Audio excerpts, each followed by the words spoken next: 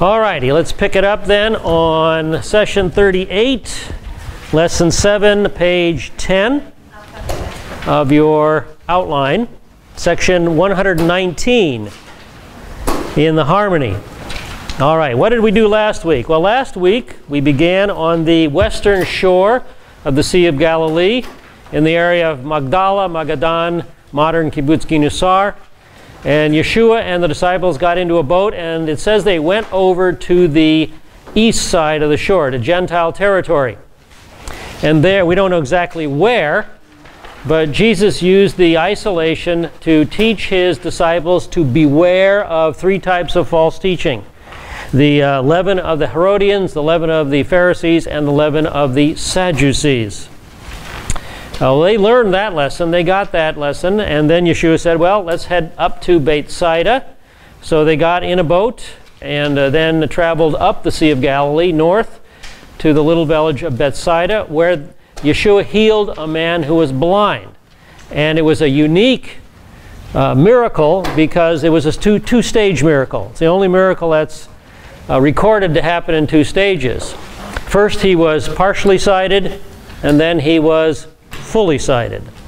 And that represented the state of the disciples, partially sighted, later to be fully sighted, and also the state of Israel, partially sighted and eventually to be fully sighted. So after performing that miracle in Bethsaida, Yeshua decided to head north to Caesarea Philippi, Caesarea Philippi uh, at the base of Mount Hermon. So he went up north, again out of Jewish territory. And here again is a map. And Galilee is in the circle there. He leaves Galilee, he goes up to Caesarea Philippi, which is in Syria, which is in Gentile territory. He's isolating himself from the uh, Jewish community in order to teach his disciples and to prepare them for the ministry they'll have when he leaves. Uh, up in Caesarea Philippi, we saw that it was located at the base of Mount Hermon, the highest mountain in uh, the Holy Land, uh, covered with snow during the winter. And as we went into Caesarea Philippi, we saw that it was overshadowed, the town was overshadowed by a huge uh, cliff. And uh, the Banyas River comes out of that cliff, it becomes one of the four headwaters of the Jordan. And in the Banyas, of course, there are small stones that fall off the cliff and are washed down the river. So there at Caesarea Philippi, Jesus asked, Who do you say that I am? And Peter answered, You are the Christ, you are the Messiah, the Son of the living God. And Jesus commended him for that. That was something that God had revealed to him, that flesh and blood did not reveal it to him. And then he said, You are Petros. And it's a play on words of Peter's name. And the Greek word Petros there is masculine and it means a small stone, a stone that you can pick up and toss, like the small stones in the Banyas River at the base of the cliff at Caesarea Philippi. So Petros, Peter, you are a small stone. But then he goes on to say, but upon the Petra. And a Petra is a feminine word, and it means a huge, massive cliff rock. But upon the Petra, I will build my church. So there's two distinct elements here in Yeshua's statement. And we know what the Petros is, that's Peter, very clearly stated. But what is the Petra? Well, commentators normally say it is the it is Peter's faith, but I shared with you that I think there's a better position in the fact that the rock or the stone and or the Petra is often referred to refers to the messianic person. So I think Jesus is pointing to himself and saying, uh, No, Peter, it's not your faith. Uh, I am the foundation of the church. Yes, I am the Messiah. Yes, I am the Son of God. But I am also the foundation of the church that I will be building in the future. And that whole idea of um, Jesus as the foundation of the church, I think, is picked up by Paul in 1 Corinthians 3 9 through 11 in the middle of this statement, he says, like a wise master builder, I laid a foundation. And at the end of the statement, he states, For no man can lay a foundation other than the one which is laid, which is Jesus the Messiah, Yeshua HaMashiach. So he is the rock. He is the foundation we build upon. Everything else is sand. We build upon Yeshua. Then uh, Jesus uh, uh, talked about binding and loosing, which we learned were rabbinical terms for permitting or denying. And it, it was used judicially and it was used legislatively. And eventually, all the apostles received this, this um, authority. And it was not passed on to you and me. There's nothing that says apostolic authority was passed on to you and me. And the apostles used this authority uh, to permit or to deny when they wrote the New Testament. All the positive commands are loosing, that is, permitting, and all the negative commands are binding, that is, forbidding. And I just showed you one example in Romans 6 where the Apostle Paul does that. He says, Do not let sin, negative command, reign in your mortal body. Do not go on presenting the members of your body to sin. So he's forbidding us. God is forbidding us there. He's binding us. He's forbidding us from doing certain things. And then he permits us to do other things. At the end of the statement, present yourselves to God as those alive from the dead. There's your positive legislative comment. So that's loosing, per, uh, permitting us to do certain things. And like I said last week, this has nothing to do with the doctrine that's floating around of, of binding and loosing Satan. Nothing to do with that. That's ripping this totally out of context and um, a rather imaginative exegesis. We do not have the authority to bind and loose Satan.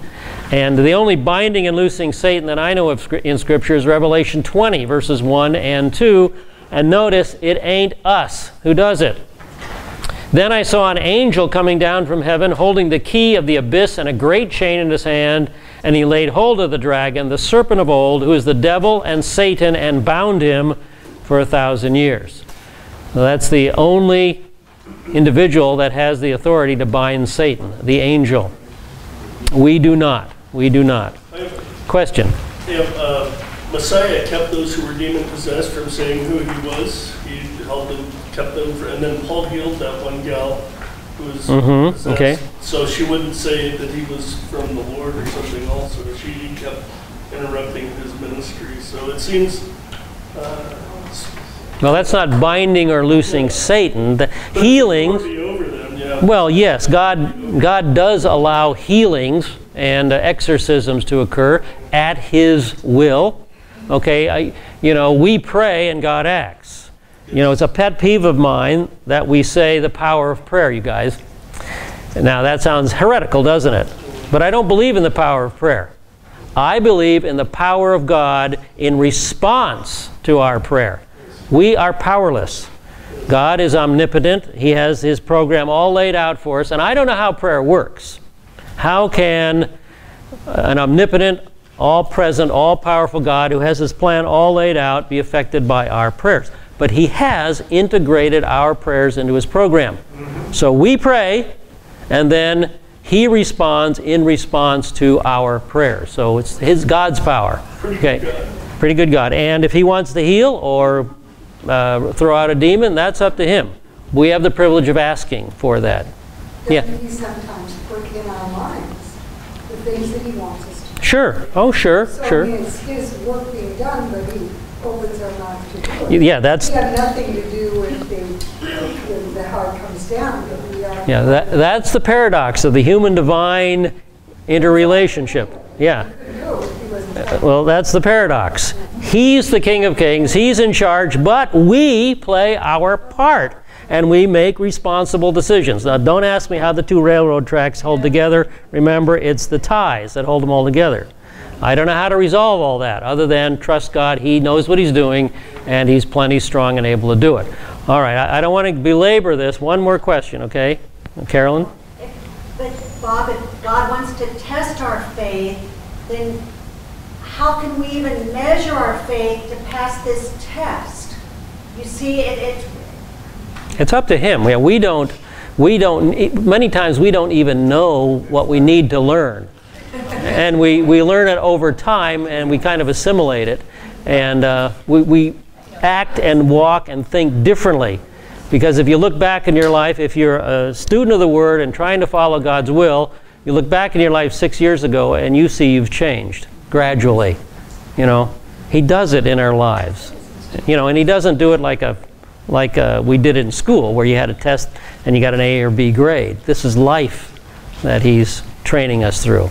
Every moment of every day is part of our growth period. You know, it's growth. It's not a test in the sense of a of a, a final test for your class. It's growth, steady, slow, uh, pay, uh, day by day. Okay, well, let's go on, you guys. Um, all right, that brings us to section 119. I'm pretty sure that's where we are. Yeah. We're at section 119. And section 119 is on page 117 of your harmony. Remember in section 118 we saw that the disciples were partially sighted. You are the Messiah, the Son of the living God. They are partially sighted. They know to avoid false doctrine. They've got the right doctrine down. They know who Jesus the Messiah is. But this paragraph will show us that they are still partially blind. They're still learners. That's what a disciple is. A disciple is a learner. Day by day, step by step, we're learning and growing. So there, we see that they have not reached the uh, graduation yet. And this is also the first clear announcement of his program of death and resurrection. Peter's confession marks the beginning of the instruction about his coming death and resurrection. This is key uh, material they need to learn. Now, they should have known it if they were students of the prophets, students of the Word. This would not be new stuff to them. But Yeshua has to bring it to their mind and um, clarify it all for them. They don't get it at this point. So let's start with verse 21 of the Matthew account. That's the left hand column in the middle of page 117, verse 21 at the top, top of the left hand column. From that time, Jesus the Messiah began to show his disciples that he must go to Jerusalem and suffer many things from the elders and chief priests and scribes, and be killed and be raised up on the third day. So I've got a quick outline of his teaching there to, to the disciples.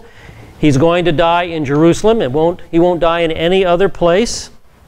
He will suffer many things. Of course, that's a reference to uh, the passion of the Messiah, his, uh, uh, the struggles that he went through, culminating in the cross.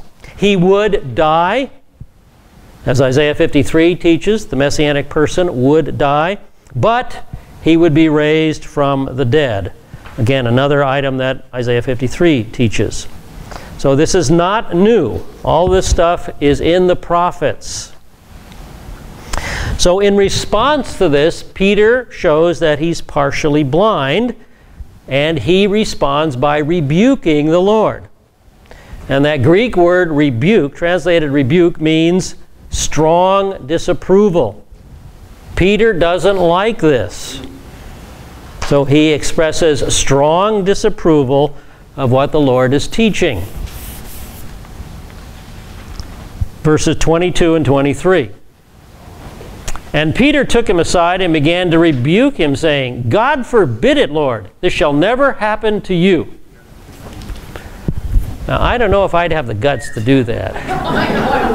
this is the guy who stilled the waters and stilled the, the uh, storm. This is the guy that cast out demons. This is the guy that raised people from the dead. This is the guy that's healing people. You know, I don't know if I'd be quite have the guts Peter has there. Maybe it's just the chutzpah. I don't know. But he does it. Question. Maybe it was just in the sense that, oh gosh, don't let that happen. Now, wait a second here. We'll see that it's a little different. Okay, next verse. Next verse. But he turned and said to Peter, Get behind me, Satan. You are a stumbling block to me, for you are not setting your mind on God's interests, but man's. All right. Now, does Jesus know Peter's name? Yeah. yeah, he knows his name. So when he calls him Satan, he's not making a mistake here. You know, he's not misidentifying him. He's pointing out that Peter is under Satan's influence in this area. He's under the world's influence, under mankind's influence. He's doing Satan's work, the world system's work, human work, to try and keep Yeshua off of the cross. This will never happen to you. You won't suffer. You won't die. And you know, this is, for Yeshua, this is another temptation that's come at an opportune time. Remember way back when, at the temptations of Yeshua? Remember Luke chapter 4, verse 13? And when the devil had finished every temptation, he left him until an opportune time. Here is one of them. Here is one of them, provided by Peter, of all people. Okay? So Yeshua has to rebuke Peter for his uh, part in this temptation. And then this incident prompts, prompts Yeshua to teach three lessons regarding discipleship. Peter needs some lessons in discipleship. The first lesson is identify with his rejection in verse 24. Verse 24. Then Jesus said to his disciples, If anyone wishes to come after me, let him deny himself and take up his cross and follow me. You see, Peter has to learn something here. Peter is not acting like a disciple here. He's, he's not acting like a learner. He's acting like the teacher, right? This will never happen to you. Because the operative idea here is to deny himself. Question. When Jesus said, deny yourself, take up your cross. Those times, those disciples didn't have any idea about the cross Jesus was going to be on. Well, they knew all about the cross. The Romans crucified yeah. Jewish people right and left. Yeah. Okay, so just referring to his cross or just people who died, you know, criminals who died on the cross? Uh, we'll get to that, okay? Alrighty? Okay. So the operative here idea here is to deny himself. Peter is not doing that. Peter wants things done his way, right? He's not acting as the learner. He's doing just like what we do all the time, don't we? Have you ever told God what to do? Sure you have. I have. Peter's telling God what to do. You know, he's not being a disciple. He's not being a learner. Okay? Now, um, as G2 was asking, what about this carrying the cross? Now, this is not a call to suffering, it's a call to commitment. Suffering may or may not come. Um, you know, a lot of people view this taking up the cross as suffering, and they say, oh, my mother in law, she's my suffering. I have to bear with my mother in law. You know, things like that. This is not a call to suffering, this is a call to commitment. To commitment. Suffering may or may not follow. But the, the admonition here is to make Yeshua number one in your life. Peter is making Peter number one in his life, right? That's what we put up with. You know, look out for number one. That's what the world says, doesn't it? Look out for number one. If you don't look out for number one, who's going to look out after you? You know? But Yeshua says, make me number one. Make me number one. Follow me as a learner. So Peter has to be smacked down a little bit here. That's what's happening. Peter's acting a little bit arrogant and um, trying to tell Yeshua what to do. All right, verse 25. Yeshua goes on. For whoever wishes to save his life shall lose it, but whoever loses his life for my sake shall find it. So the next statement tells us that a disciple, however, must be prepared for the worst case scenario martyrdom if necessary. Now, following Jesus does not guarantee martyrdom, but it might come. So be ready for the worst case scenario. Uh, verse 26, next page, page 118. Upper left corner, Matthew 16 26. Third lesson for what will, for what will a man be profited if he gains the whole world and, for, and forfeits his soul? Or what will a man give in exchange for his soul? The third statement tells us that if martyrdom does come to somebody who's making Jesus first, it will be worth it. It will be worth it because your soul is much more valuable than all the material wealth or privilege or fame that the world contains. Now, I'm sad to say that you and I, as American believers, do not understand and identify with this call. Believers in other parts of the world do. You can bet that Pastor Yosef in Iran identifies with this call. Yeah, we have never undergone persecution yet. We don't know what Yeshua is talking about here. And I'm afraid we tend to make us first.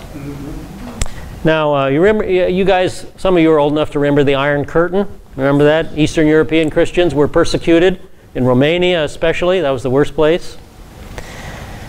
Well, whenever I met with Eastern European Christians back in those days, I was totally humbled because I saw very clearly that I was a spiritual wimp. And I'm sorry, you guys, everybody in this room is a spiritual wimp because we have not gone through the fire. And when you meet believers from Russia and you meet believers from Romania, and I'm sure if you meet believers from Iran today or Iraq today, they've been through the fire. They know what this is all about. Okay, so this is a call to commitment. It's not a call to suffering, although suffering may come. It is not a call to martyrdom, although martyrdom may come. He's saying, make Yeshua number one in your life. As the, as the scripture says, we are to die to self, we are to become a living sacrifice. That's the idea here. Those, those ideas will be picked up later by Paul. Offer yourself as a living sacrifice. Well, then, is- are you saying that all martyrs are zealots, but not all zealots are martyrs? Well, I guess you could say that, because if you're willing to die for Yeshua, you're a zealot. but not all zealots are going to experience that. That's true. All martyrs are zealots, but not all zealots are martyrs? That's probably a pretty fair statement. Okay. All righty, let's move on to section 120. Uh, section 120, the coming of the Son of Man in judgment. This is page 11. Page 11, top of the page. And we'll pick it up in the Mark account. The um, Mark account is the middle column. Excuse me. Yes, the Mark account is the middle column on page 118. Uh, verse 38 there, section 120, page 118. Verse 38 For whoever is ashamed of me and my words in this adulterous and sinful generation, the Son of Man will also be ashamed of him when he comes in the glory of his Father with the holy angels. Now, his emphasis here is on that generation, the generation guilty of the unpardonable sin. Remember, the punishment of the unpardonable sin is the destruction of, Jer- of Jerusalem and the temple. They are doomed. They are doomed to destruction. Nothing can change it. Remember, the sign of Jonah will be given to that generation, the sign of resurrection. So to be ashamed of Jesus is to reject him. And many in Israel will reject the sign of resurrection. It is rejected by many in Israel right down to this day. Many will retain allegiance to this generation because of unbelief and because of the world's contempt and because of cultural rejection. But in return, when Yeshua comes in glory, when he comes as the judge, he will refuse to claim those who reject him as his own. For example, not everyone who says, Lord, Lord, will enter the kingdom of heaven. Matthew 7 20 through 23. So then you will know them by their fruits. Not everyone who says to me, Lord, Lord, will enter the kingdom of heaven, but he who does the will of my Father who is in heaven. Words are cheap, right? Many will say to me in that day, Lord, Lord, did we not prophesy in your name? And in your name cast out demons, and in your name perform many miracles. Well, they weren't doing it for Yeshua, they were doing it for themselves. And there's plenty of people out there that are these days. And then I will declare to them, I never knew you. Depart from me, you who practice lawlessness. And uh, these people who reject Yeshua will suffer shame. That comes out in 1 John 2:28. Question. If people today are still being punished for identifying with this generation, then is the punishment for the unpardonable sin continuing on through this day? The punishment for the unpardonable sin was finished in, in 70 AD with the destruction of the temple. But the spiritual punishment was loss, eternal loss. The physical was the loss of Well, anyone who dies without accepting Yeshua suffers eternal spiritual loss. Anyone. But that's not connected with the unpardonable sin. The unpardonable sin uh, has a punishment. The punishment is the destruction of the temple and, and Jerusalem in 70 AD. We will get there. I thought there was a spiritual punishment too. If you die, well, yes, it's true. If you die rejecting Yeshua, you enter into, you enter into spiritual judgment. Yes, that's true for everybody. But that's not the unpardonable sin. The unpardonable sin is committed by the nation of Israel while Jesus was, was present, and it's the rejection of Jesus on the bounds of, grounds of being demon possessed. It was committed while alive. Okay? Entering into permanent spiritual judgment is when you die. If you die in an unsaved state, everybody enters into a permanent state of judgment. The unpardonable sin was committed while these people were alive and while Jesus was present. It cannot be committed today. Okay? Question. Bob, it seems that the blasphemy of the Holy Spirit would be a continual, um, it's inexcusable, but some people blaspheme, but they don't know they're blaspheming. But the ones who, who um, purposely blaspheme, they know they're blaspheming and they blaspheme. That's the unforgivable on, and on a spiritual plane, you think?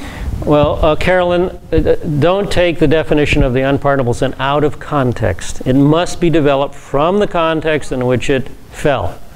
And in the context in which it fell, it's the rejection of the Messiahship of Jesus on the grounds of being demon possessed while he was present by the nation Israel. Cannot be committed today.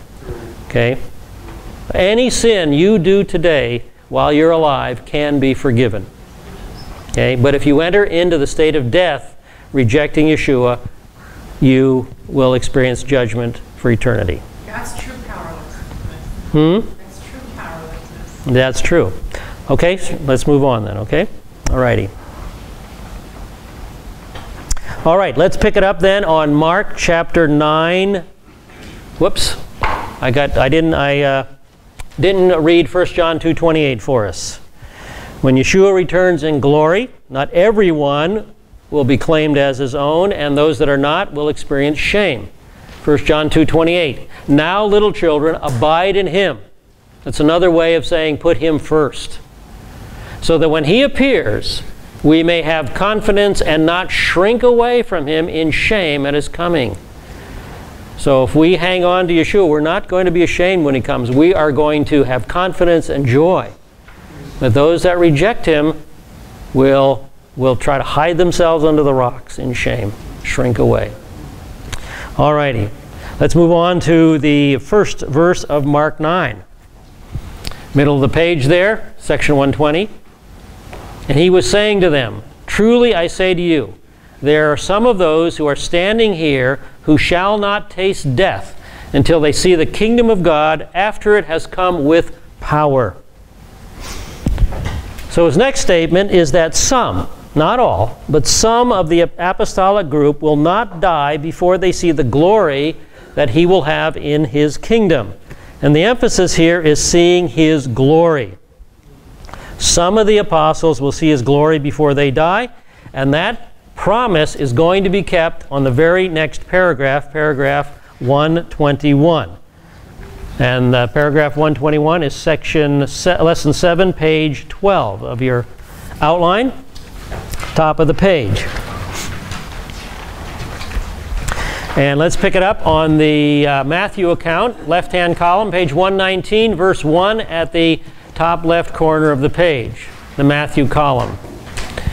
And six days later, Jesus took with him Peter and James and John, his brother, and brought them up on a high mountain by themselves. So now the some are listed. Not all the apostles, but only Peter, James, and John, and they ascend a very high mountain. Now, what mountain is this? There are two possible locations. The traditional location is uh, Mount Tabor. Now, they are up in Caesarea Philippi and on the right hand side of the map here. Mount Tabor is located in the lower left side of the map here in the Jezreel Valley. This is Mount Tabor. However, they are in Caesarea Philippi at this time. But Mount Tabor is the traditional location of the uh, Transfiguration. Here's a picture of Mount Tabor I took uh, from Nazareth looking across the Jezreel Valley. And you can see it looming up there in the middle of the Jezreel Valley. Here's another view of it, and you can see a structure on top of the mountain. And the way you get up to that structure is in this road. Can you see this road here, the switchback road? And believe me, it's as bad as it looks. I believe buses do not go up there. Now, in 94, I went up there with Dr. Fruchtenbaum, but the, uh, the three, we had three little minivans.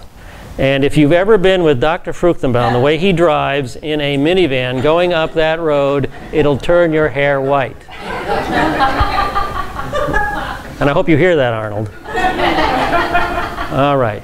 That's quite a road. It's qu- quite an amazing road. When you get up to the top, you find a Franciscan church. Uh, that is um, marking the traditional location of the Transfiguration. However, I don't believe this is the best location. I think the better location is not Mount Tabor here in the in the uh, Galilee, but back up near Caesarea Philippi at the base of Mount Hermon. Base of Mount Hermon. So I believe that they went up from Caesarea Philippi somewhere up on the slopes of Mount Hermon. And uh, you'll see, here's that picture of Mount Hermon again. Again, 9,000 feet. It sometimes has snow on it year round. Here's a picture of it in winter. If you go up there in winter, you'll find there's an Israeli uh, ski lodge up there. And the Israelis do a lot of skiing. And in 94, when I was up there, uh, we were able to go up the uh, chairlift to the very, very highest point in the area and look west over the Hula Valley. A very, very amazing uh, view of Israel. We could not look east because they didn't want us to take pictures to the east because that's where an Israeli listening point is located, looking into Syria. Now, here's another view of the mountain at a different time of year, and you can see some of the remnants of the snow. And can you see the listening point up there? Uh, that's where it's located. Now, I'll take my camera and I'll zoom in to the maximum uh, zoom of my camera, and there you can see a little bit of it. You can see some of the towers and radar domes. The Israelis are looking into Syria, keeping watch on the Syrian army 24 7. Okay? Very important and strategic location. So there's a Hermon in the summer, and uh, this was the last time we were there. No snow on the mountain that year.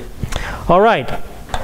Well, that will bring us to. Um, a discussion of Matthew 17:1 after the break. So go ahead and take your break and listen for the shofar, and we'll pick it up in a few minutes. All right, we're underway with uh, section 121, the transfiguration of Jesus.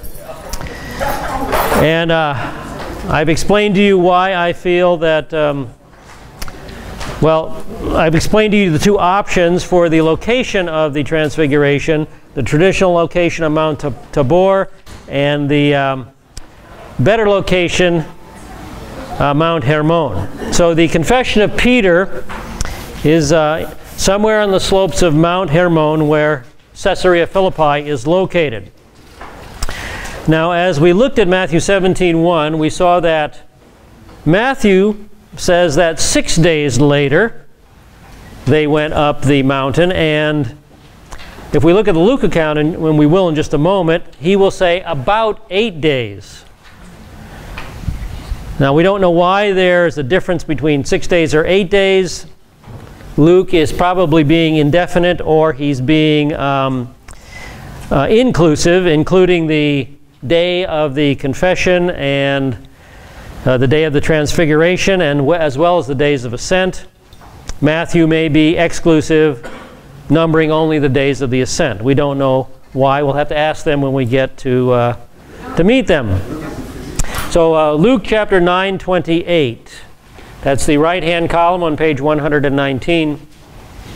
And some eight days after these sayings, it came about that he took along Peter and John and James, and they went up on the mountain to pray. Well, that's very clear. We knew why they went up the mountain. Jesus wanted to pray. That was the purpose. Now, what happens when he's praying? Let's look at the Mark account. That's the middle column, verse 3. Mark 9, verse 3. And his garments became radiant and exceedingly white, as no launderer on earth can whiten them. So the transfiguration occurs, covered also by Matthew 17, 2. And he was transfigured before them, and his face shone like the sun, and his garments became as white as light. And Luke covers that too. Verse 29. And while he was praying, the appearance of his face became different, and his clothing became white and gleaming. So, what's going on here? Well, what's going on here is the glory that Jesus has, the Shekinah glory, is shining through the veil of his body. It's penetrating through his body, which served as a veil to the glory. This is the glory that he will have in the kingdom. And a description of that glory was also given to us by John in Revelation chapter 1, verses 13 through 16. I saw one like a son of man, clothed in a robe reaching to the feet, and girded across his chest with a golden sash. His head and his hair were white like wool, like snow, and his eyes were like a flame of fire. His feet were like burnished bronze when it is made to glow in the furnace, and his voice was like the sound of many waters. Well, if you're familiar with Daniel and you're familiar with Ezekiel, you see these images from those prophets coming out very clearly. In his right hand he held seven stars, and out of his mouth came a sharp two edged sword, and his face was like the sun shining in its strength. So, quite an amazing description of Yeshua. The promise of seeing his glory is fulfilled. And this is about the best illustration I could find of that. The promise of seeing his glory is fulfilled.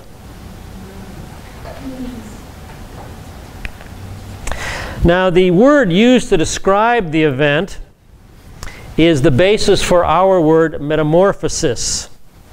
The Greek word there is in your outline. I'm sure, let's see, uh, I'm sure I put it there. What page? Page 12. Okay, metamorphothe. Where'd it go here on my notes? Yeah, metamorphothe. It means to change to another form. And of course, we use that word to describe a caterpillar changing into a butterfly. And if you've ever seen that happen or know what goes on, it is an incredible, an incredible process that really includes a death and a total changing into a new form. By the way, in our library, we do have a, a video on metaphor, metamorphosis. Yeah, and it shows Christosis was interesting in itself as a name. What? Christosis, that's what, it- that the. The chrysalis? Oh, yeah, okay. That's a Christosis, Chris. Yeah, interesting. All right, so so when Yeshua put on humanity, he voluntarily denied himself and he added humanity to his deity, thereby veiling his glory. He never gave up being God, but he veiled who he was in a human body. And that's what Paul's talking about in Philippians 2, verses 6 through 8. Although he existed in the form of God, he did not regard equality with God something to be grasped, but he emptied himself. And the description of what it means to empty himself comes next taking the form of a bondservant and being made in the likeness of men. He's, not, he's no longer the King of Kings, he's now taking the form of a servant, of a slave. He's no longer uh, appearing in the form of God Almighty, but he's appearing in human form. He never gave up his deity, but he clothed it in humanity. And being found in appearance as a man, he humbled himself by becoming obedient to the point of death, even death on a cross. That's a metamorphosis, isn't it? Now remember, Yeshua is always acting as a servant in the Gospels, and that will explain many, many, many of the questions that people ask and many of the statements that Jesus makes. Always remember that he's always functioning as a servant, doing what the Father commands him to do. That's what a servant does. A servant obeys the master. All right. So he veiled his glory by putting on humanity, and now he allows the Father to unveil his glory. And go to the top of page 13. Why do I say that? Because the thought here, the word here is passive. The subject, in, in, when something is passive, the subject is acted upon. The subject receives the action. So here the Father unveils his Son's glory. And he shows the disciples outwardly what Yeshua's inner being is truly like. The veil is parted. And so his glory shines through his human body. Now, I did a horrible typo there. The one, two, third sentence down in your outlines, it says, Messiah's glory shines right through his human body. The word should be revealing. Please cross out receiving. Oh, that was a bad typo. That's a bad one. Revealing the deity he possessed. Revealing the deity he possessed. Man. Peter must help you. That one, that one just made my that one just made my skin crawl when I saw that. Where did that come from? Oh boy, yes. Then, then Bob, let's say if you could, if you could show us a before and after, let's say what Yeshua, the pre-incarnate Christ before versus after, what difference would there be? What, what do you think? Uh, the before and after. Before that he, he took on the, the human form, because that forever changed him in the after effect. It, Well, all I can say is the go to Ezekiel and look at the description that Ezekiel sees um, of the divine chariot there in chapter 1, I believe it is, and go to the book of Daniel, and Daniel describes Yeshua receiving the kingdom. That's all I can say. That's how he appeared. And then Revelation chapter 1. That's, the, that's where I would direct you to, to get a glimpse of Yeshua in his glory. Well, in this case, it would be a difference without a distinction, because you have God in man and man in God. Well, you guys, let's go on, okay? I don't want to get into this. We're getting off track here, okay? All right? He veiled his glory by putting on humanity. Yes. Okay? Let's let's leave it at that, okay? Okay? He always stayed there so that we That would be a no. But, but, no, no, All right. He's forever changed in the heavenlies, it says in Ephesians. Anyway, later, later. I didn't see him in his pre-incarnate state. I can't tell you. Okay? All I can do is direct you to scripture, okay? We have to be satisfied with some things some of the time. All righty. Now, with Yeshua are two Old Testament individuals, Moses and Elijah, in verses 30 and 31. Right hand column. And behold, two men were talking with him. They were Moses and Elijah, who, appearing in glory, were speaking of his departure, which he was about to accomplish at Jerusalem. Now, Moses probably represents the law because he's considered the lawgiver. And Elijah represents the prophets. He's one of the major prophets. Now, the main burden of the law and the prophets was the atonement that the Messiah would accomplish through his death. And consequently, the content of the discussion revolves around his coming death. Verse 31 his departure. Now, we're not told what that discussion was or why they entered into it. So I can't go into that at all with you. But we can look at Peter's reaction to the sight. Matthew account, chapter 17, verse 4. So in the left-hand column, drop down below the gap to verse 4, page 119. And Peter answered and said to Jesus, Lord, it is good for us to be here. If you wish, I will make three tabernacles, three tabernacles here one for you, one for Moses, one for Elijah. Now, Peter is often criticized for this statement. People often, commentators often take Peter to task for this. But uh, let's look at it from a different point of view. Peter is seeing the glory that the Son of Man will have in the kingdom. But he's partially blind. He doesn't see fully at this point. So he does not yet understand the full pro program of the, of the Messiah's death and resurrection. His assumption is that the kingdom is now going to be established. Now, Peter knows about the feasts of Israel in Leviticus 23. And he knows about the prophetic significance of the Feast of, of Tabernacles. He knows that that feast will be fulfilled by the coming of the kingdom. He knows Zechariah 14. Zechariah 14 says that the celebration of tabernacles will be mandatory for all nations during the kingdom. So he's assuming the kingdom will now be established. And so he wants to build tabernacles.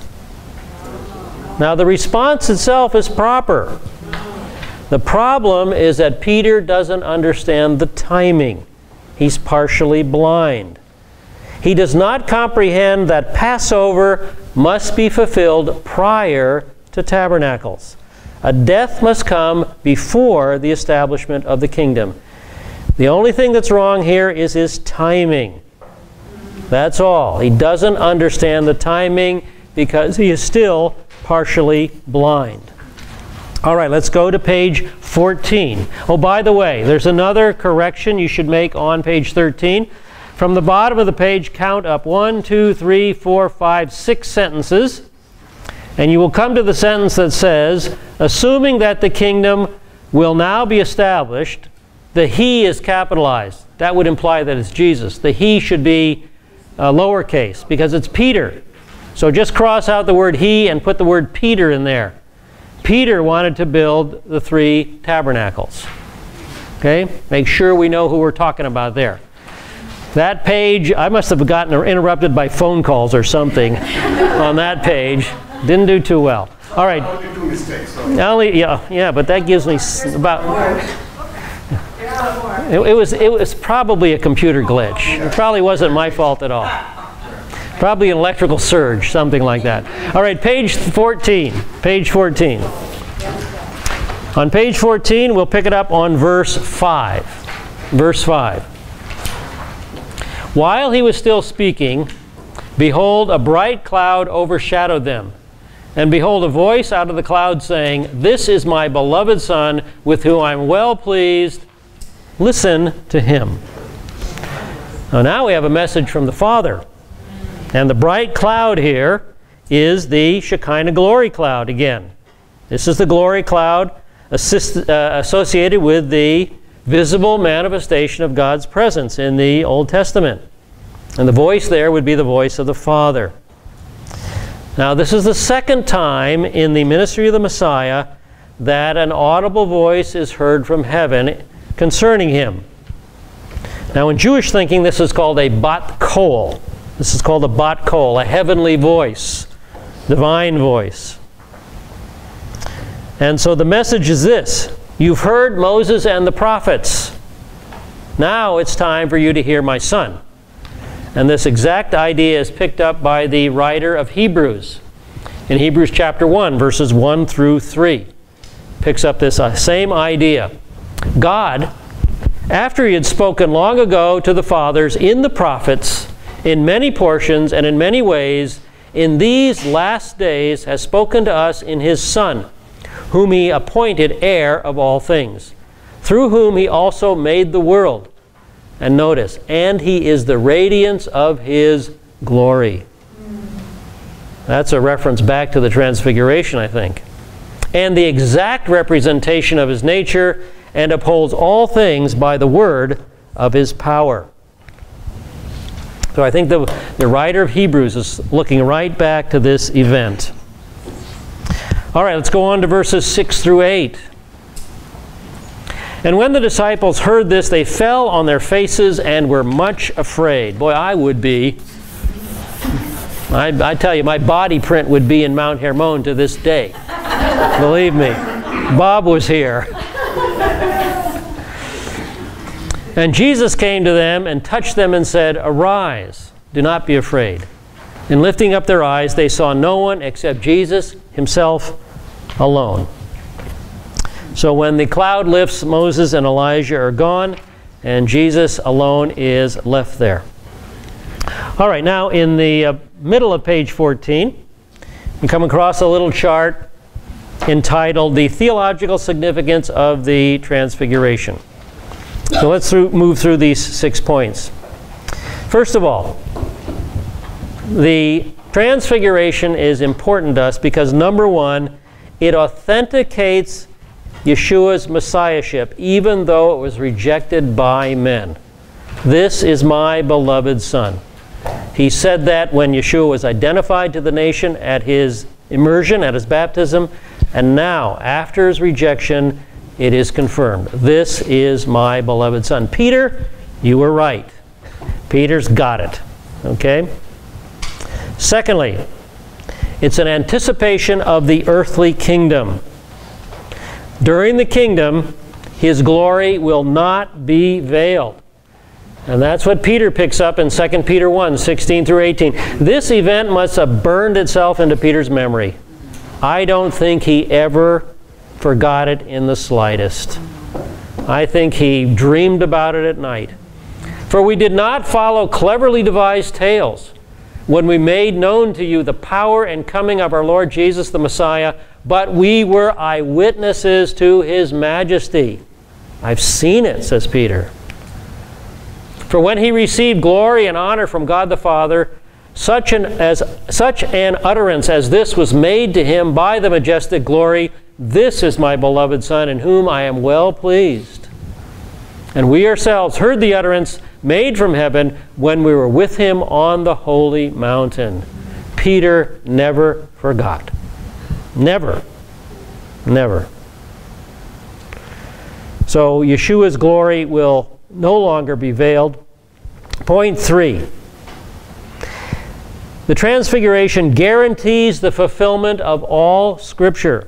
Peter goes on in verse 19 to say this Because of the Transfiguration, we have the prophetic word made more sure. To which you do well to pay attention as to a lamp shining in a dark place until the day dawns and the morning star rises in your hearts. Now, I hate to be critical of pastors, but an awful lot of pastors don't pay attention to prophecy. It's too hard. It's too confusing. It's too divisive. There are more important things. Well, not according to 2 Peter. Peter says, You do well to pay attention to prophecy as a lamp shining in a dark place. Why? Why does he say that? Well, I think it's because the lamp shining in a dark place gives us hope when we're surrounded by this dark world. You know, if this room went entirely dark, so dark you couldn't see your hand in front of your face, and one exit sign lit up, you would have hope. You'd know where to go.